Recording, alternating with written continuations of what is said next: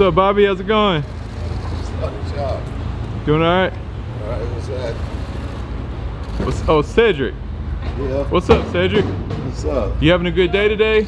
Yeah, it's good day. So what's what you what you going up? What you up to today? You having a good Just one? hanging out, yeah. Just kind of like doing some. Uh, They changed the weather up on us. it's all right. It's better, man. It's all gonna, right. It's gonna change in a little bit, though. You know that? Sounds good. Sounds good. You working on any Yeah. new projects right now? Yeah, I'm just shooting this movie with uh, Ethan Hawke in New York right now. It's kind of cool. What's the name of it? It's called First Reformed. It's like a, it's like a real dramatic piece, kind of cool. Okay, yeah, okay, sounds out, good. Man. When's it gonna be coming out? I don't know, man. That, you don't know. You know yeah, they one, delay everything. You know how they do it now. okay, sure, okay. It'll be out three years from now. Okay, well, good seeing you today, bro. All right, All right take it easy.